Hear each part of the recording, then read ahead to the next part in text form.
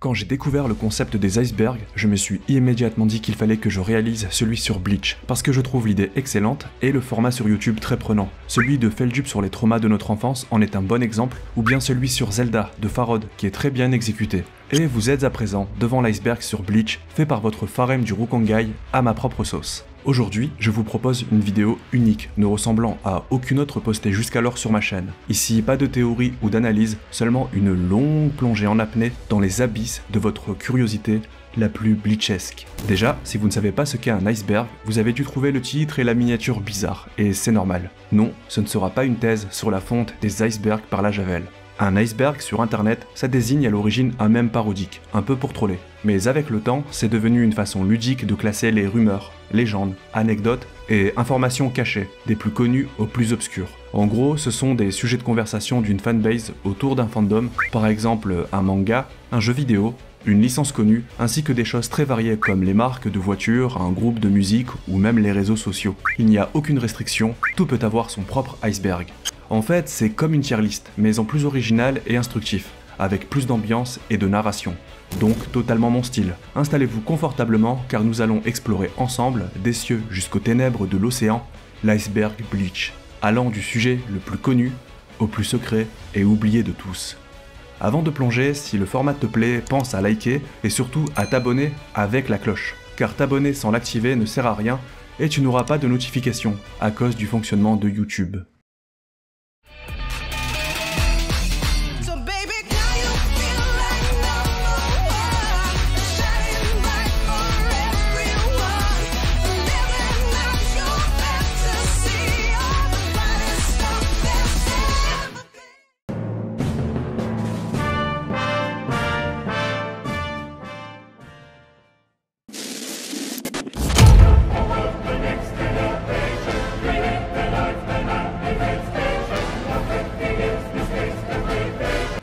Sans vouloir me jeter des pétales de cerisier, je vous ai concocté du lourd, un iceberg très massif pouvant fendre en deux le Titanic, car avec Bleach, il y a largement de quoi faire. J'ai même dû faire des choix, car je pouvais pas tout mettre, sinon le résultat aurait été surchargé, comme si Yami avait atteint une troisième forme enragée. On va avancer étape par étape, en commençant par le premier tiers. Je tiens aussi à préciser que je ne pourrai pas traiter dans le détail tout ce que j'ai mis dans l'iceberg. J'ai choisi de développer uniquement les plus intéressants, ceux sur lesquels il y a des choses instructives à raconter, ou bien bêtement ceux qui sont les plus marrants. Dernière chose, avant de partir tel Ichigo et sa bande sur le point de se faire expulser jusqu'au Seretei par Kukakushiba, comme je le disais, c'est très massif. Donc cet iceberg Bleach sera divisé en deux épisodes. Et vous êtes sur le point d'en visionner le premier. Si celle-ci cartonne grâce à vos likes, vos commentaires et vos partages, je m'engage à produire la deuxième dans les jours qui suivront. Je compte sur vous.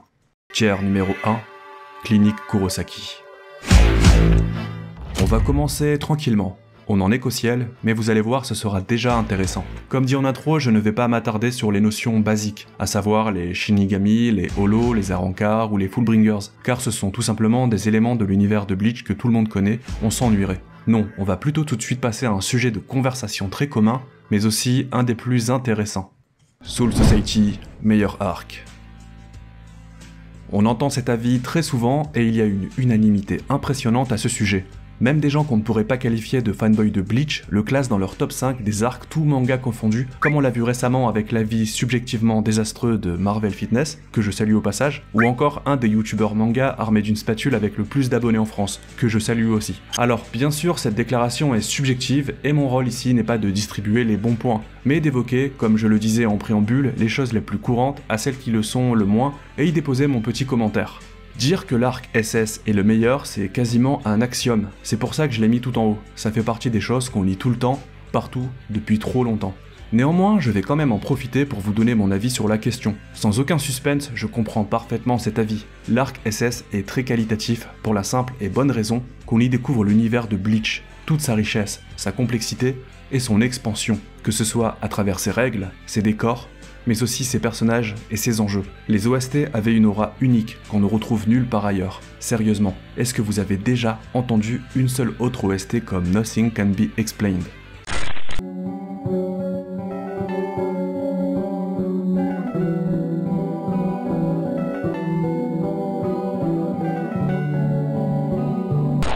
C'est un immense classique indémodable. Quiconque parvient jusqu'au début de l'arc SS ira forcément jusqu'au bout. À savoir le départ d'Aizen pour le Wekomundo. Pour ma part, j'ai su que cet univers allait occuper une place toute particulière dans mon cœur quand j'ai découvert Zaraki Kenpachi, bien que Kuchiki Byakuya m'avait déjà bien marqué, sans oublier les moments mélancoliques autour d'Orihime et le passé pluvieux d'Ichigo. C'était surtout ça en fait. Mais la mentalité de Zaraki à mi-chemin entre la folie pure, l'esprit shonen et le guerrier ultime m'ont directement conquis. Pour Byakuya, c'était l'exact opposé. C'était avant tout son calme olapien, son aura écrasante en contraste à son esthétique noble qui m'ont enthousiasmé. Le point culminant a été pour moi toute la tension qu'il y avait dans le combat opposant Zaraki à Ichigo, avec Chad qui se faisait latter en parallèle, alors que tout comme Ichigo, à ce stade de l'histoire, on pensait réellement que Sado était trop fort, qu'il ne pouvait pas perdre, ou en tout cas pas si facilement. Et à côté, au même moment, on était tous sous le choc de voir Ichigo être déjà confronté à un capitaine, et l'un des plus dangereux qui plus est. Ce combat, je ne vous mens pas, je l'ai regardé un nombre incalculable de fois. À l'époque, je visionnais même des MV à la con avec la musique de Requiem for a Dream sur Dailymotion. Puis je me calais dans mon lit et je relisais le tome 13. Et que dire du pinacle de cet arc avec Aizen que personne ne pouvait voir venir alors que le Gotei 13 est plongé dans une grosse battle royale. Parce que, pour rappel, la première apparition d'Aizen dans le manga, c'est ça. C'était impossible de deviner son plan, car toute l'attention, et toute la tension, était portée sur le serpent à tête de renard. Allez, je m'arrête là sinon je pourrais passer une vidéo entière d'une heure à vous expliquer pourquoi scientifiquement l'arc SS est une succession de gifles surchargées en Reiatsu. En fait, avec le temps, j'ai remarqué que dire que l'arc SS est le meilleur est une phrase de personne aimant le manga, mais sans plus, sans l'avoir en top 1. Sur les réseaux, c'est surtout l'arc Arankar et l'arc de la guerre sanglante millénaire qui occupent cette place, chez les fanatiques de Bleach. Passons à la suite. J'ai placé dans ce premier tiers les 5 grandes catégories de pouvoirs de l'univers de Bleach comme je vous disais, car ce sont les éléments les plus basiques du manga, et il n'y a pas grand chose à en dire. Parler de ces sujets ne nécessite pas de connaissances approfondies et ce n'est pas passionnant. Par contre, j'ai mis trois phrases que l'on lit souvent sur le net par rapport à Bleach, y compris et surtout de la part de ceux qui connaissent mal l'œuvre. Akira Toriyama a sauvé Bleach. J'ai consacré une vidéo entière sur le sujet, donc je vous invite à aller la voir si ce n'est pas encore fait. Mais grosso modo, je démontre que c'est faux, ou en tout cas il n'y a jamais eu une source officielle et fiable alors que c'est une grosse affirmation. Mieux encore, grâce au poteau Twitos Shirosaki, j'ai sous la main une preuve définitive que cette histoire est impossible. Dans un artbook comprenant des interviews de mangaka pour les 50 ans du Weekly Shonen Jump, Tite Kubo affirme que le fameux chapitre 0 de Bleach, soi-disant ayant été refusé, avait été en réalité plébiscité avec proposition de sérialisation immédiate à la clé.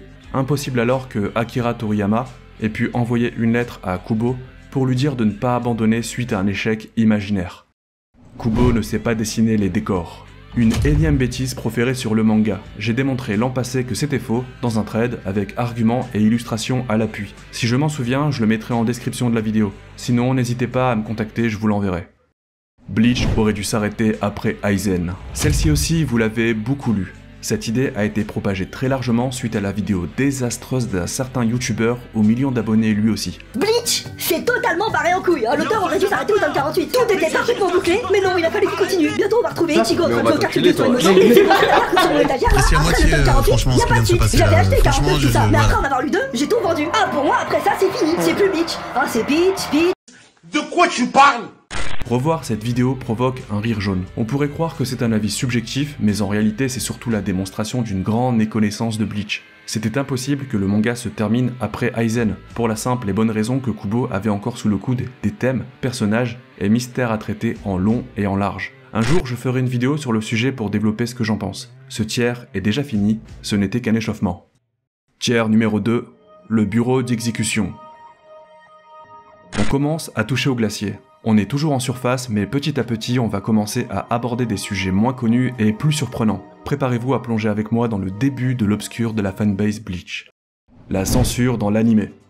Pour ceux qui ont d'abord lu le manga avant de voir l'animé, la censure leur sautait obligatoirement aux yeux. Citons en vrac le fait que durant la bataille de Karakura, Gin tranche en deux Iori, alors que dans l'animé, elle se fait seulement couper. Ichida, lui, se fait démembrer à main nue par Ulkura, tandis que dans l'animé, il a seulement des égratignures. Et il y a aussi la chimère monstrueuse Aion, qui arrache un bout de corps de Matsumoto, comme toi tu t'arraches un petit morceau de pain de la baguette pour manger ta sauce. Le pire, c'est que durant les premiers arcs de Bleach, les moments violents étaient parfaitement retranscrits, avec de nombreuses effusions de sang. Parfois, on avait même l'impression que c'était trop, comme quand Byakuya explose Renji ou quand Aizen one-shot Itsugaya à la fin de l'arc SS. Les animateurs se lâchaient, et c'était 10 litres de sang qui giclaient sur la caméra à chaque entaille.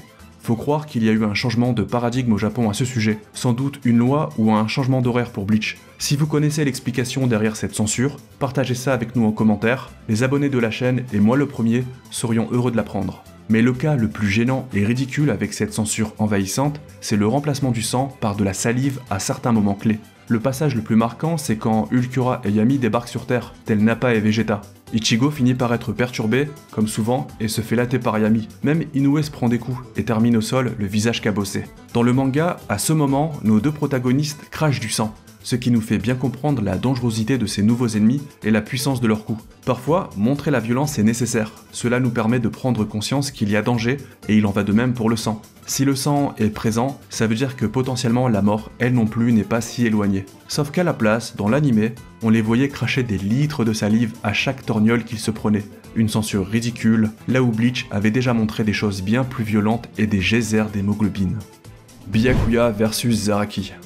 Alors ça, c'est un des éternels débats de Twitter. Je crois qu'il n'y a pas un mois qui s'écoule sans que je le vois sous une nouvelle forme sur mon fil d'actu. Ça me fait plus rire qu'autre chose maintenant, car c'est marrant de voir les fanboys des deux camps redoubler d'efforts pour tenter de convaincre l'autre en vain, car jamais aucun des deux ne changera d'avis, pour la simple et bonne raison que leur attrait pour ces personnages ne relève pas seulement de la raison. Quand il s'agit de deux monstres de charisme tels que ces deux-là, il est impossible de démontrer objectivement qu'un tel est plus charismatique ou plus fort que l'autre. En fait, si, il aurait fallu qu'ils s'affrontent dans un combat, mais même là, je suis persuadé que le débat aurait continué, à base de oui, mais là il était pas à son prime, là il a pas utilisé toutes les capacités qu'il avait, et ainsi de suite. Par contre, ce genre de débat pouvant paraître stérile aux yeux des plus désabusés, ne l'est pas tant que ça en réalité. Les fans hardcore de Zaraki et de Byakuya en sont arrivés à un tel stade où souvent ils sont capables de te sortir des informations que peu de gens connaissent. Ils ont retourné Bleach dans tous les sens, y compris le cache-œil de Zaraki et les Kenseikan de Byakuya, dans l'espoir d'y trouver l'épreuve suprême que leur favori est le plus fort. Et ça, c'est cool. Donc continue à débattre, même si on sait tous que Zaraki enfant prend tout le Gotei 13. C'est une vanne. Les Reigai. Élément central de l'arc hors série majeur Gotei 13, l'armée d'invasion, le Reigai est une technologie alliant celle des Mod Saul ainsi que celle des Jigai. Et cet arc illustre bien pourquoi certains HS de Bleach partent d'une bonne base. Ici, on est sur une réutilisation d'un élément du lore peu exploité, celui du projet Spearhead, ce même projet ayant donné naissance à Kon. Ces épisodes méritent d'être vus car il y a un bon fanservice et ça permet de voir pour la toute première fois, ou revoir, des affrontements cultes, comme Komamura contre Soifon, ou encore le binôme Ukitake et Kyuraku contre Yamamoto, sans oublier le classico Zaraki contre Zaraki. Les Bunt. L'arc des Bund part sur une bonne base, mais s'étale beaucoup trop et bénéficie souvent d'une animation catastrophique. Et surtout, il nous coupe dans l'élan, après la fin théâtrale de l'arc Soul Society, avec des espèces de vampires dont les trois quarts n'ont aucun charisme et ne devraient même pas avoir le droit d'affronter un vice-capitaine, alors qu'ils font les fous face à des capitaines comme Byakuya, Itsugaya ou Soifon. Il y a un sérieux problème avec cet arc, et si vous voulez le passer, personne ne vous en voudra. Non seulement ce cirque dure 46 putains d'épisodes, mais en plus, il est littéralement responsable de l'arrêt du visionnage de l'animé de très nombreuses personnes. Kenpachi Kiganjo, il a changé. Directement lié à l'arc des Bunt, pour avoir connaissance de ce dont je vais vous parler, il faut avoir visionné l'arc des Bunt entièrement et avoir lu le manga. Et en plus, ça relève du détail dans les deux cas. Le Shinigami qui s'est allié avec les Bunt, Maki Ichinose, appartenait à la 11e division. Il a rejoint les vampires spirituels suite à la mort de son capitaine il y a environ un siècle. En gros, c'est une drama queen. Sauf que, surprise, il y a environ un siècle, le capitaine de la 11e division, c'était un Shinigami aux allures d'ogre, le teint hâlé, prénommé Kenpachi Kiganjo. Celui-là même que Kenpachi Zaraki a vaincu afin d'accéder au rang de capitaine de la 11e. Les deux seules infos qu'on ait sur sa personnalité, c'est qu'il ne se rend pas aux réunions de capitaine et qu'il est une brutasse fainéante, ce qui ne correspond en rien avec la vision qu'on a durant l'arc Bunt. Maki Ichinose en parle comme un capitaine exemplaire et bienveillant, et dans un flashback un peu flou, on le voit de dos, et il ne ressemble absolument pas à Kiganjo. On ne peut pas parler d'incohérence étant donné que cet arc est un filler, mais ça fait un peu tâche pour la cohérence globale de l'animé. Trop de fillers dans l'animé. Cette mise en bouche me permet d'aborder plus globalement le sujet des fillers de l'animé. Je vais en profiter pour vous dire personnellement ce que j'en pense. Les fillers de l'animé tombent souvent dans l'oubli, En général, on ne retient rien des HS d'un animé car ils ont été conçus uniquement pour combler du vide et permettre au manga dont il provient de reprendre de l'avance. Le plus gros problème pour moi étant le fait qu'on sache pertinemment bien qu'il ne se passera jamais rien d'important, de marquant, car forcément l'histoire devra reprendre là où elle en était. Quand tu commences une saison de filler, tu sais que les personnages seront peu impactants. Par exemple, dans l'arc Amagai, on savait très bien que ce capitaine allait mourir, car on connaissait la suite du manga, et il n'y était pas, forcément. Ce qui rend leur visionnage chiant et laborieux. Quand une saison de fillers débute, c'est comme si nous étions tous punis, et qu'on devait patienter sagement jusqu'à la reprise du vrai scénario. Néanmoins, pour Bleach, ce n'est pas toujours vrai. Certains arcs méritent le coup d'œil, comme nous l'avons vu précédemment avec l'arc de l'invasion du Gotei 13, car il explore intelligemment le lore, et ils permettent de voir des personnages dans d'autres circonstances, notamment les capitaines. Claquer son Bankai contre un Komamura lui aussi en Bankai Megazord, ça quel plaisir. Ou pire, voir enfin Byakuya contre Zaraki. Justement, s'échanger quelques coups, certes ça n'apporte rien, mais ça reste du plaisir pour nos yeux. Mais le plus important, pour moi, ce sont certains épisodes particulièrement bien animés. Pour moi, le combat dans toute l'adaptation animée de Bleach qui dispose de l'une des meilleures mises en scène et une des plus belles animations est celui mettant en scène Ichigo contre Kagerosa. Il fait partie de mon top 5 facile alors que c'est un pur filler. Je vous mets un extrait, vous allez comprendre pourquoi si vous ne l'avez pas encore vu, les autres savent déjà.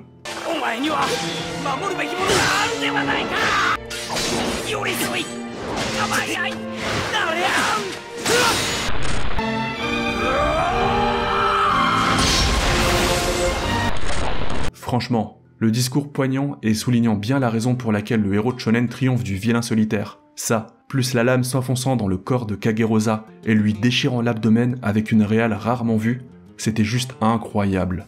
Ah, il y a aussi Koga contre Byakuya qui est excellent.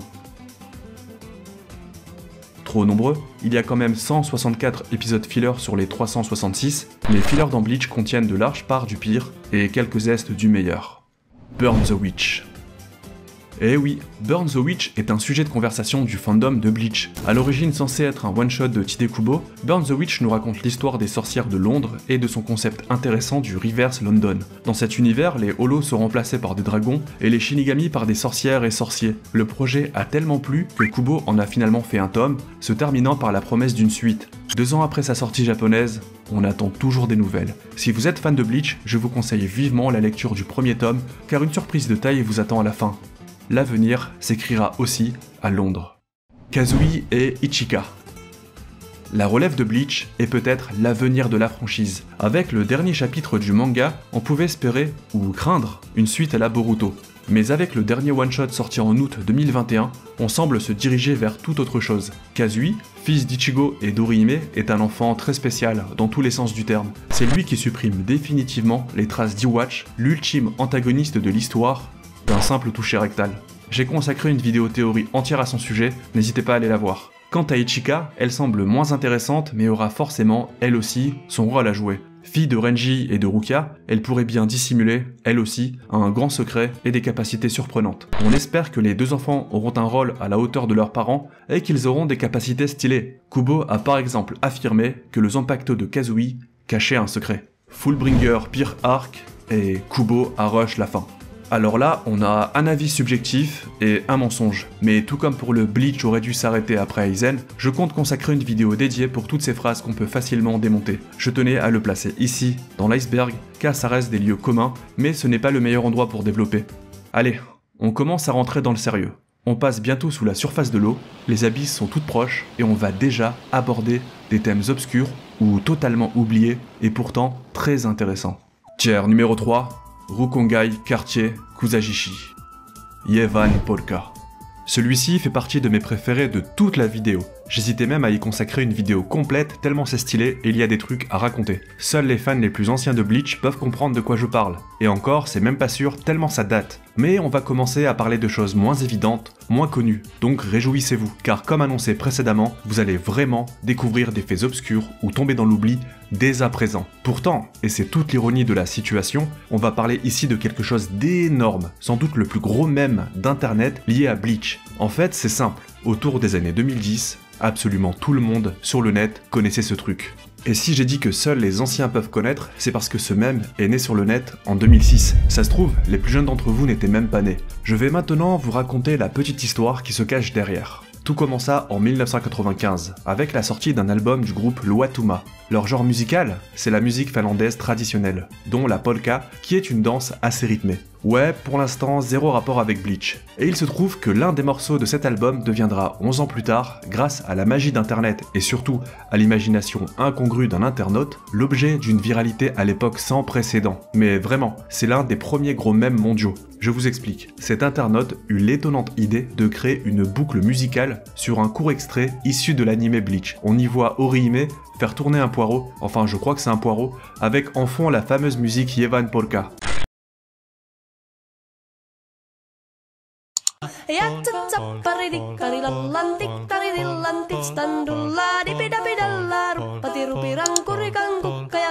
La viralité était telle que le groupe lui-même, voulant surfer sur le buzz et on peut le comprendre, sortira un album dédié à cette seule et unique chanson avec moult versions différentes, histoire de bien apprécier le citron. En fait, les plus jeunes connaissent peut-être la mélodie, car je viens de me rappeler qu'elle est revenue sous une autre forme en 2018, avec cette vidéo.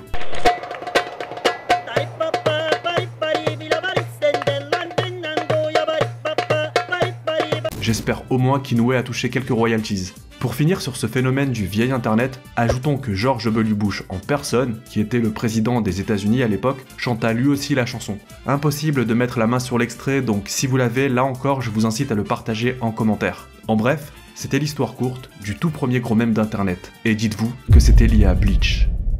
Bleach, manga de poseur. Oui, c'est vrai, mais pas totalement. On peut difficilement dire le contraire tant on ne compte plus le nombre de pages et même de doubles pages où les personnages prennent des poses monstrueusement classe. Chaque entrée en scène est une opportunité pour Kubo de nous démontrer tout son talent et le flot transcendantal de son casting. Mise en scène, posture, jeu d'ombre, le charisme des personnages nous éclabousse le visage et inonde nos yeux de style. Mais Bleach n'est pas exclusivement un manga de poseur, et parfois cette formule est utilisée pour le réduire à ça. C'est une façon de lui concéder une qualité, pour mieux l'enfoncer partout ailleurs. Bleach, c'est aussi des thèmes matures pour le monde des shonen, avec une omniprésence de la mort et du deuil. C'est un héros ne cherchant pas la lumière, mais voulant à tout prix protéger les siens, à cause du plus grand traumatisme que puisse subir un enfant, voir sa mère mourir sous ses propres yeux après qu'elle ait essayé de le sauver. Pour un grand frère tel que moi, la connexion s'est faite immédiatement. Kurosaki Ichigo est le protagoniste dans lequel je me reconnais le plus, et ce n'est pas uniquement une question de pose. Derrière ces apparats de manga de poseurs, de bandeurs de flow, il y a énormément d'écriture subtile, sans mots, passant à travers les symbolismes et surtout de poésie. Kubo n'est pas qu'un excellent dessinateur, c'est aussi un poète, et comme j'aime souvent le dire, un esthète complet, comme en atteste le choix de ses titres comportant souvent plusieurs sens, ou encore les poèmes, en début de chaque tome. Hirako Shinji dans le chapitre 1, mais aussi... Celui-ci commence à être connu depuis quelques années, mais pendant très longtemps c'était un vrai truc de niche, donc je l'ai quand même placé ici. Vous avez seulement vu l'anime et vous faites partie des naïfs qui pensent que Kubo n'avait pas prévu énormément de choses à l'avance dans son manga. Vous pensiez par exemple Kirako Shinji, le chef des Vaisar, n'apparaissait que dans l'épisode 109 Eh bien détrompez-vous, bien avant d'apparaître officiellement dans le chapitre 183 du tome 21, Shinji apparaissait déjà dès le tout premier chapitre de Bleach. On le reconnaît très aisément ici sur la page titre. Comme quoi, ce personnage a vraiment le chic pour tout faire à l'envers. Et en bonus, je sais pas vous, mais moi j'ai l'impression de voir une première version du design de Matsumoto à l'extrême gauche. Qu'est-ce que vous en pensez? Bleach returns in. Aujourd'hui, on sait que Bleach est officiellement de retour en animé avec comme fenêtre de sortie octobre 2022. On a même encore eu un excellent trailer, encore tout récemment, qu'on a tous déjà vu au moins 10 fois. Mais pendant très longtemps, tout espoir semblait perdu. Les gens commencent à oublier à quel point cette traversée du désert fut longue et désespérée. Il y a eu une époque où il était admis par l'écrasante majorité du fandom de Bleach que c'était mort, qu'on n'aurait jamais la suite en animé. Malgré tout, et en dépit de toute preuve fiable, chaque année des youtubeurs et autres influenceurs en tout genre réalisaient des vidéos sur la moindre miette pour en faire un festin. En gros, la présence d'un membre de l'ancien staff qui s'occupait de Bleach chez Studio Pierrot à un événement était une raison suffisante pour titrer Bleach Anime Will Return in euh, 2018 par exemple, sans le moindre début de preuve tangible. Il faut savoir que leur but n'est pas de vous informer efficacement et avec toute la neutralité que ça implique, mais de vous faire cliquer. Pour preuve, nombre d'entre eux modifiaient le titre de leur vidéo pour changer l'année, passant de 2016 à 2017, et ainsi de suite. Ce n'est pas quelque chose de mal de vouloir les clics, c'est même logique. Moi-même, quand je réfléchis au titre et à la miniature de mes vidéos, j'essaye d'optimiser les chances que vous cliquiez dessus. Si j'y passe plus de 10 heures au minimum, c'est pour que mon travail soit vu le plus possible. Le problème, c'est quand cela se fait au détriment des spectateurs. Waifu Wars. Waifu Wars désigne un projet sur lequel a travaillé Tite Kubo. Bon, ok, en réalité c'est une licence qui s'appelle Sakura Wars, une licence de jeux vidéo qui mélange jeu de rôle, tactique et séduction. Pour le dernier opus sorti en 2019 et qui constitue un reboot complet de la franchise, Tite Kubo en personne s'est occupé du chara design de la plupart des personnages. Et on peut le dire sans forcer, c'est un gros jeu de waifu. Donc Kubo a pu se faire plaisir, et je dirais même s'épanouir. Il a même créé des illustrations dans le plus pur style kuboesque. Mais regardez-moi cette magnifique illustration, digne des plus grandes heures de Bleach. Cette vidéo est une opportunité parfaite de vous faire découvrir un de ses rares travaux en dehors du monde des mangas. Sojiro Kusada. Sojiro Kusada est un nom peu connu, pourtant c'est l'ancien meilleur ami et rival du capitaine Itsugaya. Si peu de personnes connaissent son nom, c'est pour la simple et bonne raison qu'il n'est rien d'autre que l'antagoniste principal du deuxième film de Bleach. Pourtant, son histoire est tragique, il est au fond une victime de plus de l'injustice de la Soul Society et de ses règles archaïques et absurdes. En effet, lui et Itsugaya ont dû s'affronter dans un duel fratricide car tous les deux possédaient bizarrement le même Zanpakuto, Hyorinmaru. Loin d'être inintéressant, ce film approfondit le passé du personnage le plus populaire de l'époque, Itsugaya, ainsi que le lore des Zanpakuto, qui, à l'époque, était clairement sous-exploité. Il se paye même le luxe d'inclure un artefact surpuissant lié à la royauté de la Soul Society. Un bon film pour un antagoniste oubliable. Les Togabito. Les Togabito sont les prisonniers de l'enfer tels qu'ils sont décrits dans le quatrième film de Bleach, Hellverse. De fait, ils constituent les principaux ennemis d'Ichigo. Pour devenir un Togabito, il faut avoir commis des péchés graves durant son existence humaine, ce qui envoie le pécheur directement en enfer pour l'éternité. Certains d'entre eux ont la puissance d'un espada, ce que j'ai du mal à expliquer étant donné qu'ils sont censés aller en enfer pour être enfermés et punis pour le restant des jours, perdant ainsi leur pouvoir, mais pourquoi pas. Certains réussissent même à s'offrir de petites vacances dans le monde des humains, et pour se cacher des gardiens de l'enfer, ils mettent un masque et une espèce de cape noire. C'est assez débile et peu crédible, mais ce quatrième et dernier film est pas mal à part ça, et c'est souvent le plus apprécié j'ai l'impression. Ginjo, premier Shinigami remplaçant. Il y a beaucoup à dire sur Ginjo, un des personnages principaux, si ce n'est le perso central de l'arc Fullbring. D'abord mentor d'un Ichigo ayant perdu ses pouvoirs de Shinigami, il se révèle en réalité être le chef d'une organisation de Fullbringers dont l'objectif est de se venger de la Soul Society. Tiens, pour changer. Personnage plus complexe qu'il n'y paraît, on sent tout de suite qu'on n'est pas sur le même niveau d'écriture que pour un méchant de film. Pourtant, de nombreux mystères subsistent à son sujet. On ne sait toujours pas comment il est devenu un Shinigami remplaçant, ni pourquoi. On peut, cela dit, deviner comment il a perdu ses pouvoirs avec le temps. Car comme le dit Ruka dans le tout premier chapitre, les pouvoirs de Shinigami sont transférés, normalement, pour un temps seulement. Il n'y a rien de définitif dans le processus, et le fait qu'Ichigo lui prenne tous ses pouvoirs constitue une anomalie. Ginjo, lui, a probablement perdu ses pouvoirs ensuite, lentement mais sûrement. Tout ce qu'on peut deviner, et encore ce n'est pas sûr, c'est que le Shinigami lui ayant donné ses pouvoirs pour la toute première fois devait peut-être appartenir à la dixième division, car c'est la dixième qui s'occupe du quartier de Naruki, là où vit Ginjo. En bref, c'est un bon personnage qui aurait mérité d'être approfondi, y compris lors de son très court retour à la toute fin du manga. Si vous voulez en savoir plus à son sujet, je ne peux que vous conseiller de lire la trilogie de romans CFYOW, dont le premier tome sortira enfin en France, officiellement, aux éditions Glénat le 7 septembre 2022. Foncez l'acheter si vous voulez soutenir Bleach en France, votre soutien sera important car les ventes conditionneront la sortie des autres romans chez nous. Le Bankai Daizen. Alors là, on est face à un énorme morceau un trop gros morceau pour être traité à sa juste valeur dans une vidéo qui s'annonce déjà suffisamment longue et dense comme celle-ci. On en reparlera sur la chaîne en temps et en heure, mais le Bankai Daizen est la source d'innombrables fantasmes depuis très longtemps, et ce n'est pas prêt de s'arrêter. La question que je me pose, personnellement, c'est est-ce qu'il existe dans l'esprit de Kubo, ou même pour lui c'est quelque chose de difficilement imaginable, même si, bon, en vrai de vrai, on sait tous que le Bankai Daizen c'est le manga lui-même. Ulcura est l'espada le plus fort, Idem ici, un sujet qui réclame trop de temps, mais un sujet qui revient très régulièrement dans les débats sur Bleach, presque autant que le Byakuya versus Kenpachi. Donc je vais tout de même vous dire ce que j'en pense très brièvement, car je ne l'ai jamais fait je crois, on va faire ça dans l'ordre. Pour moi, si Stark est le Primera Espada, ce n'est pas pour rien. Il a réellement le potentiel d'être le plus puissant de tous, sauf qu'il n'en a pas l'envie. Il déteste se battre et il se bride plus qu'autre chose. C'est un dépressif paresseux, ne cherchant qu'à fuir le combat pour continuer ses siestes. Mais c'est aussi pour ça qu'on l'aime et qu'il est si touchant. Sa mentalité le nerfe énormément et on n'aura jamais pu voir malheureusement ce que donne Stark avec l'envie d'en découdre sérieusement. Ensuite, Yami, c'est l'espada 0. Et là aussi ça veut bien dire ce que ça veut dire. Pour moi, il est bien très puissant, mais surtout très difficile à classer. Selon la colère qu'il a accumulée, il peut avoir autant de puissance qu'un Stark, ou bien ne même pas être capable de baisser Noitora. Ce n'est pas pour rien s'il est dixième en forme de base. Je sais que dans les databooks, il est dit qu'il est plus fort que les autres espadas, y compris Ulquiorra, mais je me fie surtout au manga, car c'est la source la plus fiable.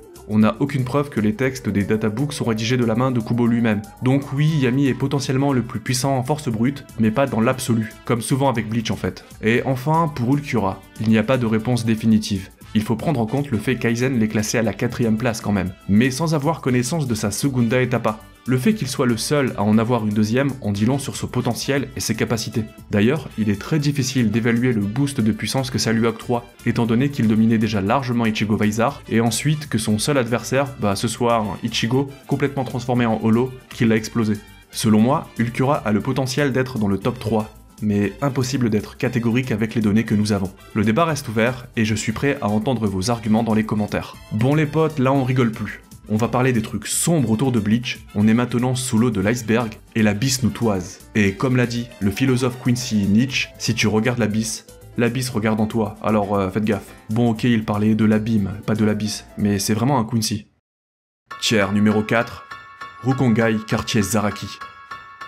Mayuri a torturé les Quincy. Pour n'importe quel lecteur de Bleach, l'image de Mayuri est celle d'un génie sans scrupules ni morale, celle d'un capitaine pouvant battre presque n'importe qui par la ruse et sa science tordue à base de poison créatif. En plus de nous faire réfléchir comme lorsqu'il évoque sa vision de la perfection, il peut aussi nous faire rire avec ses grimaces et sa psychopathie évidente. Néanmoins, durant l'arc Soul Society, il avait tous les apparats du vrai méchant de shonen. Sans foi ni loi, on a trop souvent tendance à oublier que ce giga FDP a utilisé d'innocents Shinigami, donc son propre camp, ses propres sbires, les siens, pour piéger ses ennemis, toujours accompagné d'une musique angoissante, loin de ce qu'on verra plus tard contre Zael. Et le tout sans jamais devoir rendre de compte, grâce à son statut de capitaine. Le Seretei, c'est vraiment le lieu dans lequel la justice n'a pas de définition claire demanda Tauzen. Précisons aussi que les ennemis en question, ce n'était pas un monstre de puissance comme Zaraki ou un être transcendant comme Aizen, mais attention, rigolez pas, Uryu et Orihime. Mais le pire dans tout ça, c'est sa torture assumée des Quincy restés dans le monde des vivants, et tout particulièrement le grand-père d'Ishida. Ce dernier était le vieux sage incarné. Il dispensait des leçons d'une grande sagesse, prônait la paix avec les Shinigami au petit apprenti qu'était Uryu.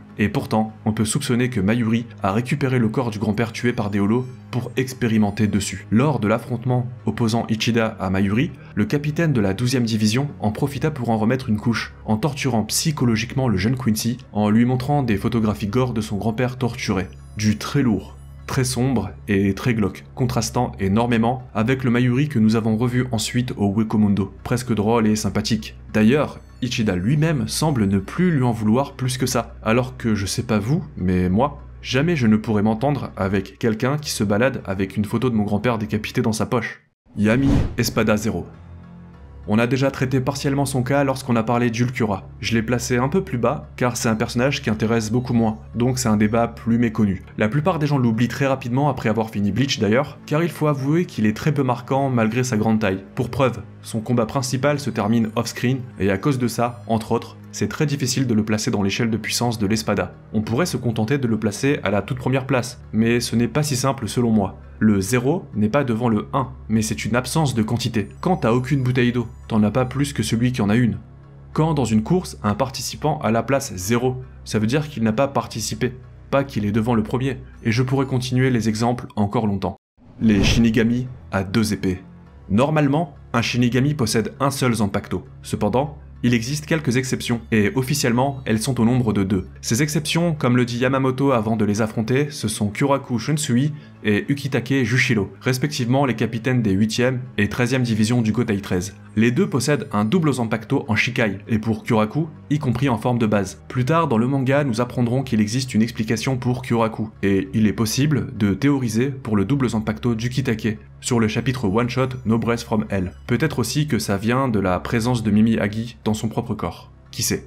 Et certains pourraient être tentés de proposer Isagi en Shikai avec son Kazeshini, mais je me vois obligé de refuser cette proposition et je vais expliquer pourquoi. Kazeshini ne peut pas être considéré comme un Zanpakuto double parce que c'est une arme blanche basée sur une arme qui existe réellement et qui s'utilise uniquement comme ça, avec la chaîne reliant les deux lames. Mais surtout, L'argument ultime, c'est la formule de libération du Shikai. Kyuraku et Ukitake sont bien les deux seuls à avoir un Zanpakuto double, car ce sont les deux à avoir une formule de libération double elle aussi, faisant potentiellement référence à deux âmes de Zanpakuto différentes, là où Isagi n'a que Kazeshini. Et enfin, le dernier candidat, c'est le perso principal, après l'obtention de son vrai Zanpakuto, Ichigo Kurosaki. Ce qui est cocasse avec Ichigo, c'est que c'est un cas unique, donc il est difficile de se calquer sur lui pour comprendre l'univers de Bleach et ses règles, un peu comme Sora et ses simili dans l'univers de Kingdom Hearts. En plus, on ne connaît aucune formule de libération pour lui, mais on peut affirmer qu'en Shikai, Ichigo possède bien un double Zanpakuto, basé sur ses pouvoirs de Shinigami et Holo, ainsi que sur ses pouvoirs de Quincy.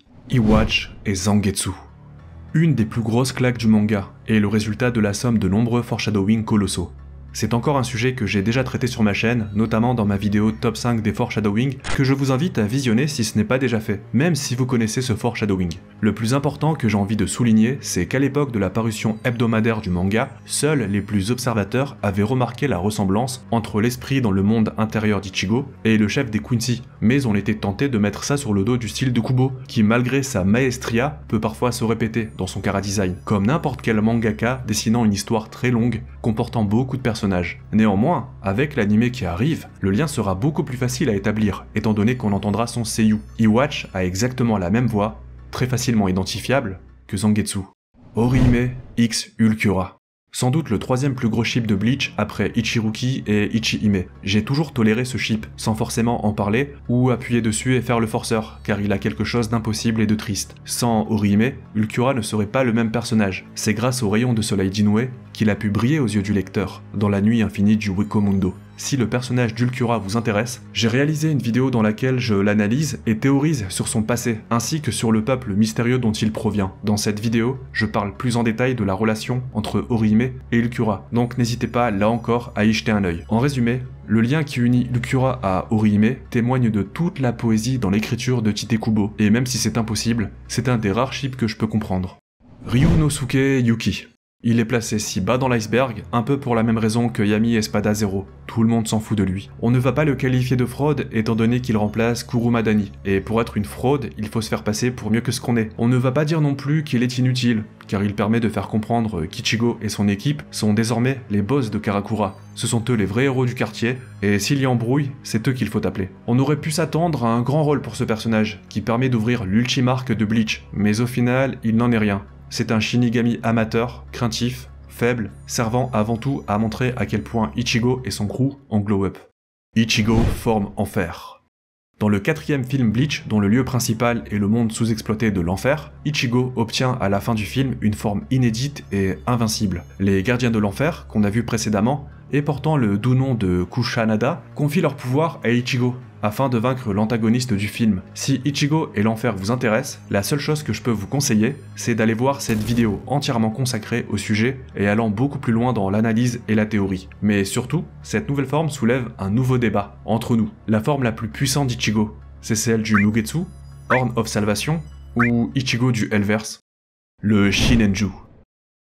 Concept issu du premier film, Memories of Nobody, le Shinenju est un terme signifiant le rosaire de la mémoire. La mémoire est le thème central de ce film, et pour cause. Le Shinenju est un objet, mais en réalité une incarnation, de la somme de tous les souvenirs perdus dans le Dangai. Le Dangai étant cet espace étrange séparant les différents mondes de l'univers de Bleach. C'est Senna qui sera l'incarnation du Shinenju, personnage propre au film et c'est pourquoi les vilains du film chercheront à s'en accaparer. Elle permettrait de faire entrer en collision la Soul Society et le monde des humains, afin de se venger, encore une fois. Senna est un personnage touchant et éphémère, démontrant qu'il est possible d'écrire un bon perso, y compris dans le cadre d'un film. Mais ce qui rend ce sujet véritablement intéressant, c'est que ce concept de Shinenju permet d'approfondir le lore de Bleach, à travers la question des souvenirs et du concept du Dangai.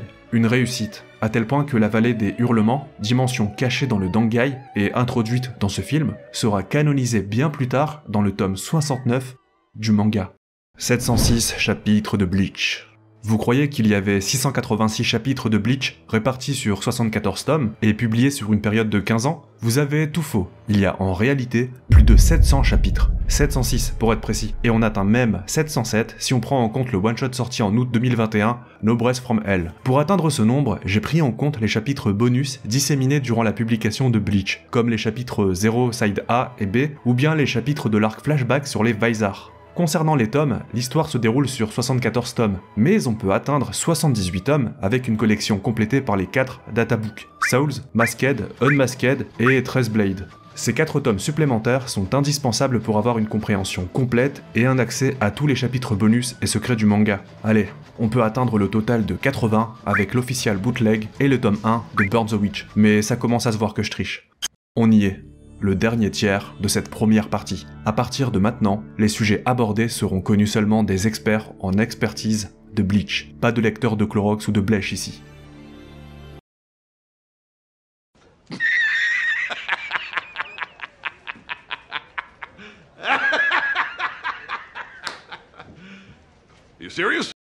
Tiers numéro 5, le Seretei. Aizen voulait dévoiler les origines Quincy d'Ichigo à Karakura. Celui-ci, je l'aime beaucoup car il permet de faire l'ancien. Il fait partie de ces trucs que, pour les connaître, il fallait forcément être là à l'époque de la parution hebdomadaire, donc il y a plus de 10 ans. C'est le cinquième tiers de l'iceberg et le dernier de la vidéo. On commence à s'enfoncer dans les profondeurs aquatiques, les ténèbres sont désormais tout autour de nous, et c'est pourquoi nous allons parler d'une des phrases les plus analysées de toute l'histoire de Bleach. Vous vous en souvenez forcément, durant la bataille contre Aizen dans la fosse Karakura, Ichigo affronte Aizen tant bien que mal et se fait mener par le bout du nez avec une aisance déconcertante par le mastermind à la mèche. Alors qu'il est sur le point de faire une révélation très importante à Ichigo sur ses origines, Ishin, le pater du héros, apparaît pour mettre fin à la conversation avant même qu'Aizen n'ait le temps d'aller au bout de sa révélation censée être tonitruante. Sauf que... Cette révélation est dessinée à deux reprises dans le manga. D'abord, en fin de chapitre 397, avec l'interruption d'Ishin, puis en guise de début pour le chapitre 398, et rebelote. Aizen n'a pas le temps de terminer sa phrase. Là où ça devient intéressant, c'est qu'à l'époque, les premières traductions laissaient dire à Aizen qu'Ichigo était la descendance d'un Shinigami et d'un... trois petits points. Et c'est là que l'interruption se faisait. Mais dans le chapitre 398, donc le suivant, la phrase d'Aizen commençait différemment. Il disait Tu es la descendance d'un humain et. trois petits points. Or, ça change absolument tout. Pour rappel, à ce stade de l'histoire, Ichigo ne connaît aucune de ses origines. Il ne sait même pas que son père est un Shinigami de naissance. Donc, la révélation d'Aizen, à ce moment précis, portait sur ça sur les pouvoirs de Shinigami de son père. Et ça fait sens avec l'interruption d'Ishin. Mais en même temps, pourquoi Ishin s'empresserait d'interrompre Aizen pour lui-même faire la révélation à son fils par sa simple présence? Avouez que c'est une drôle d'histoire. Eh bien, après avoir mené ma petite enquête, j'ai compris que ce n'était même pas une erreur de traduction, mais une erreur soit de Kubo, soit du Weekly Shonen Jump, car les traducteurs anglais de Manga Stream avaient publié un communiqué à l'époque expliquant qu'ils ne s'étaient pas trompés. Aizen parle bien d'un Shinigami dans le chapitre 397, puis d'un humain dans le chapitre 398. Mais tout est bien qui finit bien, cela a été uniformisé en volume relié. Je me souviens qu'à l'époque, tout le monde s'était mis à théoriser sur Masaki, la mère d'Ichigo, et l'écrasante majorité des théories lui prêtaient des pouvoirs de Quincy, et ce dès 2010, donc bien avant la confirmation avec le chapitre dédié. Zombie Powder. Dans un western des plus uniques, Akutabi Gamma, Powder Hunter de profession, il est à la recherche des douze anneaux de la mort qui, une fois rassemblés, redonnent, dit-on, la vie aux morts, ou dans son cas, rendent immortel. Fera la rencontre d'Elwood lors de l'assassinat de sa sœur. Elwood décidera donc d'accompagner Gamma dans sa quête pour redonner la vie à sa sœur. Périple s'ensuivent, Gamma retrouvera de vieilles connaissances, pas toujours des plus fortuites. Voilà, je vous ai lu le synopsis du premier manga en plusieurs tomes de Tite Kubo, bien avant Bleach. En effet, il a été publié entre 1999 et 2000. Malheureusement, les ventes n'étaient pas à la hauteur de son éditeur, et Kubo dut abréger son histoire. L'histoire termine en 4 tomes Fort heureusement, il prendra sa revanche un an après seulement, avec Bleach et ses 140 millions de tomes vendus dans le monde. Zayel dévore ses serviteurs. Zayel est probablement le personnage le plus trash de Bleach aux côtés de Asnoth et de Mayuri. Jouant le rôle du scientifique taré et sans morale des Espadas, il est le pendant de Mayuri mais pour les Arankars. Chacun a fait ses dingueries, et on parlera du capitaine Kurotushi encore plus profondément dans l'iceberg, mais Zayel n'est clairement pas en reste. Je vous explique. Chaque Espada possède ses propres fractions. En gros, ce sont des Arankars sous leurs ordres directement. On a vu que tous les espadas n'en avaient pas forcément, et qu'ils n'y accordaient pas tous la même importance. Pour Baragan, ce sont clairement des sous-fifres, voire des esclaves, ce qui colle parfaitement à son image de roi tyrannique du Weko Mundo. Pour Grimjo, c'est davantage des compagnons totalement dévoués, dont l'objectif est d'aider le Sexta Espada à atteindre son but, devenir un vaste lord. Pour Zayel, des casse-dalles, il dévore vivant ses propres fractions afin de se régénérer. C'est-à-dire qu'ils sont là comme ça, à côté de lui, et bam, il tape son meilleur croc dans leur chair, ça pisse le sang, et il bouffe tout. Il aurait pu se créer des barres chocolatées, des pâtes spéciales ou des fruits artificiels. Mais non, il s'en bat le masque et son meilleur kebab, c'est le bras de son soldat. Tous les holos primitifs sont des cannibales en puissance, c'est même ainsi qu'ils évoluent, et leur seule manière de survivre s'ils n'arrivent pas à manger des humains. Zayel, lui, est un Arankar, faisant partie de l'Espada, ayant normalement retrouvé la raison et des pouvoirs de Shinigami. Mais il continue à dévorer vivant ses compagnons sous ses ordres. White. Le fameux holo d'Ichigo. Alors ouais, je sais, ce n'est pas le sujet de conversation le plus obscur dans la fanbase de Bleach, c'est même un des personnages qui a fait le plus parler, vu qu'il est directement relié aux différents power-ups du personnage principal de l'œuvre. Non, moi si j'ai envie de vous en parler si loin dans l'iceberg, c'est pour une fois de plus flex et faire l'ancien. Aujourd'hui, on sait quel est son nom officiel, White. Il a été nommé ainsi par Tauzen durant un flashback mettant en scène la rencontre entre Ishin et Masaki. Mais saviez-vous qu'il a longtemps eu d'autres noms sur le net? D'abord, ça a été Shirosaki. Pourquoi? Parce que les fans de Bleach sont ingénieux et ont fait un jeu de mots basé sur le nom de famille d'Ichigo, Kurosaki. Kuro veut dire noir. Le holo d'Ichigo est tout blanc. Shiro signifie blanc. Donc Shirosaki. Simple et efficace, tout le monde comprend de qui on cause et c'est stylé. Il y a eu aussi Ogichi, pour ceux qui aiment se compliquer la vie alors qu'on avait déjà un terme bien trouvé. Ogichi car c'est Ichigo mais écrit à l'envers. C'est tellement chiant à écrire que je suis obligé d'avoir Ichigo sous les yeux pour mettre les lettres dans le bon ordre. Et enfin, l'ultime surnom avant qu'il ne soit nommé officiellement. Ichinator. Celui-ci est surtout lié à la forme que prendra Ichigo contre Ulpura et est souvent appelé Vastolord à tort par les fans. Ichinator parce que c'était devenu une machine à tuer, dépourvue de sentiments, ne prononçant aucun mot à part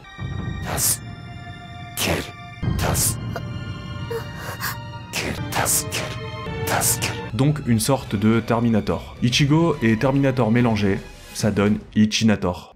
Bleach 0. Bleach a d'abord eu le droit à un one-shot, à un tout premier chapitre visant à présenter à son éditeur les grandes lignes, son univers, en bref, une introduction à cette toute nouvelle histoire de Kubo. C'est un chapitre que très peu de gens connaissent, car il a été publié seulement dans un databook devenu assez rare, le tout premier, nommé Souls. Dans cette courte histoire, on retrouve de nombreux éléments familiers, comme les personnages Ichigo, Rukia et Orihime, ou encore le concept de Shinigami et de Holo. Mais il y a aussi de nombreuses différences. Par exemple, les Holos n'ont pas de masque et la tenue de Shinigami d'Ichigo est différente. Elle arbore une étoile avec une tête de mort. Mais le point le plus important et marquant dans ce chapitre, c'est qu'à la fin, Orihime, elle meurt. Elle se fait tuer par le holo de son père, revenu la hanter, comme l'a fait son frère dans le vrai manga. Puis, elle s'en va avec Rukia à la Soul Society à la fin du chapitre. Et c'est là qu'on réalise à quel point l'histoire aurait été totalement différente si Kubo avait gardé ce même début. Que serait devenu Orihime? Un Shinigami? Comment Ichigo aurait-il évolué suite à cet échec? Est-ce qu'il aurait quand même fini en couple avec elle? Et est-ce qu'il serait mort, lui aussi à son tour, afin de devenir un véritable Shinigami? Shutsui Suzusuke Kyuraku no Jiro. Très peu de gens connaissent cette information car non seulement elle est oubliable, mais en plus elle passe très rapidement le temps d'une case dans le manga. Cependant- votre forum national ne laisse rien passer, et j'ai entre autres utilisé cet élément du lore peu connu pour construire une giga théorie sur le nouveau capitaine commandant du Gotai 13. Je vais pas tout développer ici, tout répéter, mais dans mon épisode Bleach Theory sur Kyuraku, je construis une hypothèse selon laquelle il est le gardien des secrets les plus sombres de la Soul Society. Quel secret? Pour le savoir, il faudra aller la voir. Le lien est dans la description. Sinon, concrètement, son nom complet traduit, ça donne quelque chose comme Je ne suis l'assistant qui cache tout, deuxième fils de la famille Kyoraku.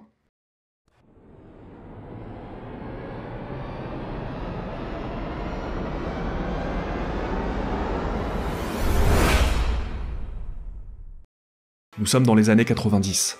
Un jeune lycéen entame alors l'été de sa troisième année. Poussé par l'ennui, mais aussi l'imagination et l'envie de tracer au crayon gris des histoires colorées, l'étudiant commença à esquisser une histoire courte, alors qu'il n'avait aucune expérience en dessin ni aucune connaissance sur la façon de dessiner un manga. Pourtant, il alla au bout de son projet, entre deux cours et sous les rayons de soleil d'Amaterasu. Tentant le tout pour le tout, car n'ayant rien à perdre, il envoya son projet au magazine phare de l'époque, celui dans lequel il fallait nécessairement apparaître pour espérer avoir un jour une carrière. Le Weekly Shonen Jump. Mieux encore, il en profita pour participer à un concours de jeunes pousses. Malheureusement, ce n'était pas encore son heure. Il ne gagna pas. Cependant, un des rédacteurs en chef l'appela directement afin de lui proposer de travailler ensemble, ce qui fut un véritable choc pour lui. Le simple lycéen, n'ayant jamais dessiné sérieusement, avait attiré l'attention d'un gros éditeur du plus gros magazine de manga du Japon. Et ce qu'il ne savait pas, c'est qu'avec son manga, il venait de découvrir le pont secret vers son futur succès. Le nom de cet adolescent japonais, c'est Tite Kubo.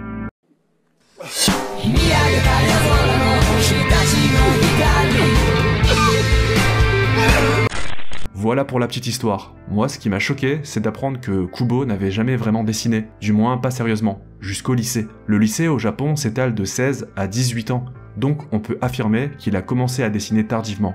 Peut-être que son niveau aurait pu augmenter encore plus rapidement s'il avait commencé durant l'enfance. Concernant le manga dont nous venons de parler, il est disponible dans le tome 2 de Zombie Powder, le premier manga sérialisé de Tite Kubo, et il est très éloigné du style de Bleach. C'est assez barré, violent et axé sur les armes à feu. Et voilà, j'ai enfin terminé cette première partie de l'iceberg Bleach. J'ai encore du mal à y croire tant ça a été un travail de longue haleine, parsemé d'embûches et de remises en question. Pour tout vous dire, j'ai commencé à l'écrire en novembre 2021, puis je l'ai laissé tomber jusqu'en juillet 2022 sous la canicule. J'espère sincèrement que ça vous a plu car c'est loin d'être un exercice facile. J'ai essayé de rendre ça digeste et intéressant pour tout le monde, spectateur de passage comme fan hardcore du manga. Dis-moi ce que t'as préféré et si tu veux me soutenir, tu as plusieurs manières de le faire. Déjà, en t'abonnant avec la cloche et en partageant, ou bien en me soutenant directement sur Tipeee ou via les membres soutiens de la chaîne. Ah, et aussi, je vends des bougies 100% artisanales inspirées de Bleach. Le lien est en description. La deuxième partie de l'iceberg sera très différente, car on va définitivement s'enfoncer dans les limbes du lore de Bleach. Ce sera une vidéo si sombre qu'elle aurait pu être écrite dans le Muken à côté de Chaise Sama. Sur ce, ciao